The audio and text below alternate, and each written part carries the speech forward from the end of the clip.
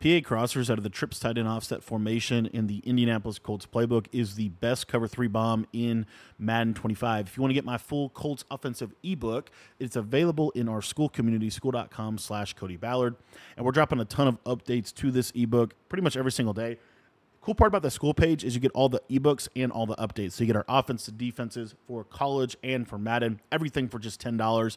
Super good deal to make sure that you're on top of the knowledge gap that is Madden in college football. The setup for this cover three beater is we're going to corner out our tight end, block our running back, streak our inside trips receiver, and drag our outside trips receiver. So you see, this is what the play is going to look like. And at the snap of the ball, you are going to see here that if we have time in the pocket, this crosser is going to get deep enough and it's going to get over the top of the cover three coverage. If you want to check out more about the Colts offense, make sure you join the, the uh, Skool community, skool.com slash Cody Ballard. The link is in the description below.